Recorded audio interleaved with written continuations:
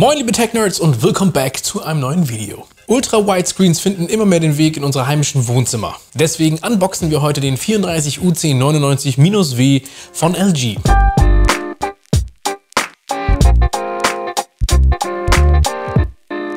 Wofür die ganzen Zahlen in den Namen stehen, weiß ich nicht, bis auf die 34. Die steht für die Bildschirmdiagonale, denn das ist ein 34 Zöller. Namenstechnisch ist bei den Herstellern immer noch so ein bisschen, keine Ahnung, wieso nennt man die nicht einfach Widescreen 1, Widescreen 2, Widescreen 3, Widescreen 4? Ne, ihr wisst schon, was ich meine. Alles muss simpler werden, weil 34 UC 99 minus W. Okay. In der Box gibt es natürlich nicht nur den Monitor, sondern auch ein bisschen Zubehör. Ein Handbuch auf CD für die Leute, die noch ein bisschen in der alten Zeit leben und ein CD-Laufwerk haben. Natürlich kann man sich das Ganze auch runterladen. Ihr bekommt ein DisplayPort-Kabel, ein HDMI-Kabel, ein USB-C zu USB-C-Kabel, auch sehr nice, ein USB-A zu USB-C-Kabel, auch cool.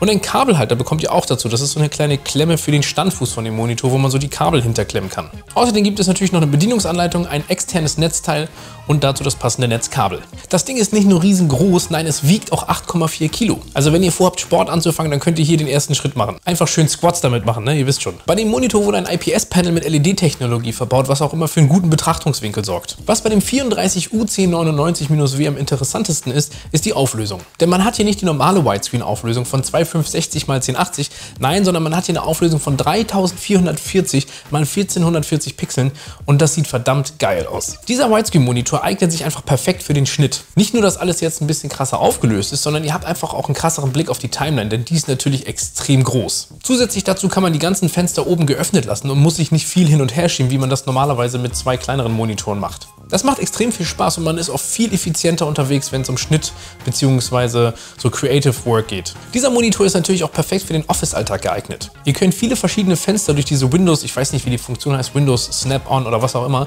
wenn man die so an den Rand zieht bei Windows 10, dann äh, klacken die sich so in die richtigen Positionen. Und man kann sich zum Beispiel vier Fenster direkt nebeneinander anzeigen lassen und hat so eine perfekte Multitasking-View. Damit ist man mit Sicherheit auch sehr effizient unterwegs. Natürlich kann man mit dem Monitor auch Gaming betreiben, allerdings ist das hier beschränkt auf 60 Hertz, also auf äh, 60 FPS. Und äh, das macht auf jeden Fall auch Spaß. Man muss nur eine dementsprechende Grafikkarte haben, die die Auflösung von äh, 3440 x 1440 ordentlich durchpowert bei 60 FPS.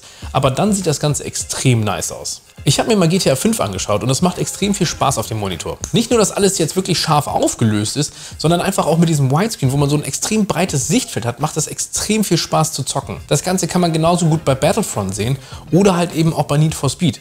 Also das ist eine Sache, wenn ihr das noch nicht gemacht habt, setzt euch mal irgendwie, wenn ihr einen Kollegen habt, der einen Widescreen hat, einfach mal davor, zockt mal eine Runde und ich glaube, ihr wollt nicht so schnell wieder weg. Der Widescreen von LG ist für ungefähr 1000 Euro online zu haben, je nachdem bei welchem Händler ihr schaut und vor allen Dingen auch wann ihr schaut. Mit den Preisen online schwankt das Ganze ja immer so ein bisschen. Wenn ihr noch Fragen zu dem Monitor habt, schreibt die in die Kommentare. Ich mache mich an den Schnitt wie immer und wir sehen uns beim nächsten Video. Bis dahin, Freunde. Ciao.